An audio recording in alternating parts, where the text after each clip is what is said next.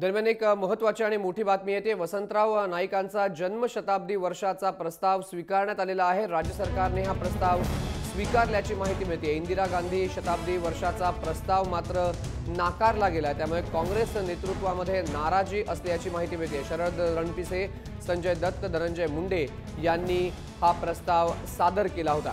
आपले संपादक निलेश खरे आपल्यासोबत आहेत. निलेश एक महत्वाची माहिती मिळते. काँग्रेसचं नेतृत्व नाराज आहे कारण इंदिरा गांधींच्या जन्मशताब्दीचा प्रस्ताव हा फेटाळण्यात आला किंवा मान्य करण्यात आला नाहीये. इंदिरा गांधी किंवा गांधी कुटुंबाबद्दलची नकारात्मकता ही भाजप सरकारमध्ये आहे. अशा स्वरूपाची टीका ही सातत्यानं भाजप नेतृत्वावर करण्यात येते. आणि त्यामध्येच एक कडी म्हणून आज राज्यातल्या भाजप सरकारनं वसंतराव नाईक यांच्या जन्मशताब्दी महोत्सवाचा जो प्रस्ताव आहे तो स्वीकारलाय. त्यावर चर्चाही होणं अपेक्षित आहे. मात्र जो प्रस्ताव इंदिरा गांधी यांच्या जन्मशताब्दी संदर्भातला देण्यात आला होता तो प्रस्ताव हा कोणत्याही चर्चेला घेण्यात आलेला नाही. त्यावर कोणताही विचार जो आहे तो करण्यात आलेला नाही.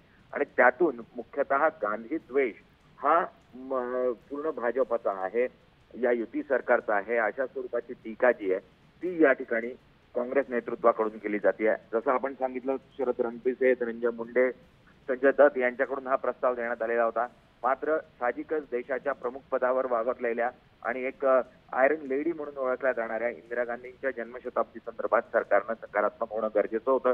मात्र सरकार गांधी कुटुंबाचा कोणताही महोत्सव किंवा त्या नावानं कोणताही कार्यक्रम करण्याच्या मानसिकतेत दिसत नाही अशा स्वरूपात पाहायला मिळते धन्यवाद दिलेल्या माहितीबद्दल. निलेश खरे आपल्यासोबत फोन लाईनवरून उपस्थित होते. भाजप सरकार अजूनही गांधी घराण्याबाबतचा कोणताही प्रस्ताव मान्य करण्यास तयार नाही सरकारने यावरती चर्चा देखील केली नाही. कुठेतरी गांधी द्वेष भाजप सरकारचा किंवा गांधी कुटुंबाबाबतची भाजपची भूमिका अजूनही नकारात्मक असल्याचंच समोर आलं.